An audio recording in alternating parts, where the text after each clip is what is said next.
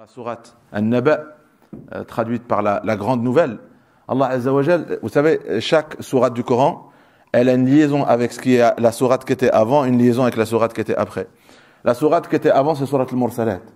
Et sourate al-Mursalat, quand on la lit, le verset qui revient le plus, qui est la signature de la sourate, c'est Wailun yawma idhin lil mukaththibin. Yawma idhin, c'est le jour du jugement. Ce jour-là, malheur et, perdition à ceux qui vont mukadzibin, traiter euh, euh, euh, ce livre de mensonge, traiter le prophète de mensonge, traiter ces versets de mensonge, et eh bien ce jour, le jour du jugement, ils vont regretter. Après, le dernier verset de Surat al-Mursalat, Après une parole aussi claire, une parole aussi forte, une parole aussi profonde, aussi cohérente, par rapport à la réalité et aux grandes questions qu'on a en nous, après ce livre, s'il le rejette, quelle parole, euh, euh, euh, hadithin, quelle parole après, après, après cette parole, quelle parole euh, euh, euh, vont-ils prendre et croire? Allah dit, si vous lisez ce livre, quelle peut être le, euh, cette autre parole? Sur quoi vous allez fonder votre foi, sur quoi vous allez fonder vos certitudes? Après, ça c'est le dernier verset de Surat al-Mursalat, puis la sourate qu'on a commencé, au sujet de quoi vous vous interrogez? Sur cette, euh, information d'une grande importance dans laquelle vous vous, di- vous divergez? C'est-à-dire, Allah il a décrit ce livre comme contenant des informations d'une grande importance.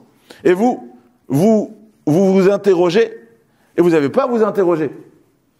Et, dans cette interrogation, vous vous divergez. C'est-à-dire, il y en a qui croient, il y en a qui croient pas. Il y en a qui croient, il y en a qui croient pas. Et dans ceux qui croient pas, la raison pour laquelle ils ne croient pas n'est pas la même. Il y en a qui croient pas parce qu'ils pensent que cette parole, c'est, c'est, c'est, c'est des anciens récits. Il y en a qui croient que cette parole, c'est de la poésie. Il y en a qui croient que cette parole, c'est de la magie. Il y en a qui croient que cette parole, c'est, c'est, c'est de la folie. Elle vient des- du monde des djinns.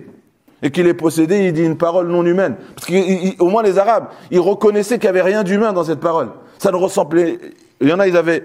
euh, euh, euh, Ils étaient assez, instruits dans la poésie pour voir que c'était pas de la poésie. Et il en avait, ils avaient déjà entendu les livres précédents, euh, l'évangile, ils savaient que c'était pas le même livre. Mais ils voyaient que ça touchait le cœur. Et ils voyaient que ça secouait.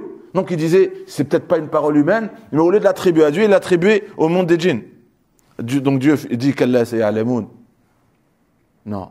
Non. Non. Vous allez voir. Non, c'est rien. c'est- euh, euh, Ces questionnements et cette divergence, c'est rien de ce que vous pensez. Qu'Allah, c'est rien de, tout ce que vous pouvez croire. Et, mais vous, allez voir très prochainement. Puis vous allez voir très prochainement. Donc on a dit, il, dit la même chose deux fois. Vous allez voir, vous allez voir. Je vais le dire dans un langage familier, on a fini sur ça euh, dimanche dernier. Dans le langage familier, c'est comme quelqu'un, tu lui dis une vérité, il veut pas croire, tu dis, bah tu vas voir. Puis après, tu vas voir. Donc quand Allah il dit, tu vas voir, les, les nous disent, et, c'est une mise en garde. C'est une mise en garde. C'est une mise en garde. C'est une menace. C'est un avertissement.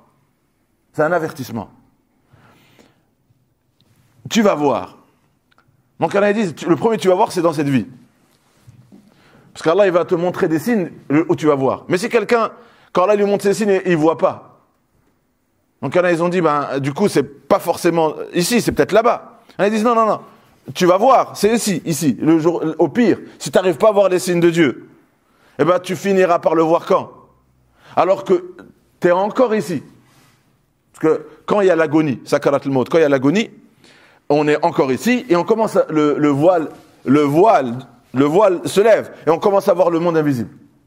Et quand on commence à voir le monde invisible, on est encore là. Du coup, c'est Alamoun, il, il, il le vivra là. Et le Coran dit, vous savez à ce moment-là, quand le voile se lève et qu'il est en train de sortir, il dit quoi? Lorsque la mort vient chez quelqu'un, il dit, Seigneur, laisse-moi retourner. Parce que là, elle sort. Il dit, non, remets-la, laisse-moi retourner euh, euh, afin de pouvoir œuvrer dans le bien. Le bien, euh, euh, faire ce que tu, veux que je fasse. Le bien, c'est euh, la volonté de Dieu. Dieu, il veut qu'on fasse des choses sur terre. Et bien la personne qui rejetait, qui faisait ce qu'il voulait lui, et qui rejetait la volonté de Dieu, il va dire, laisse-moi retourner sur terre. Et Dieu dira non. Dans un autre verset, c'est quand il sera tenu debout devant Allah il va encore demander.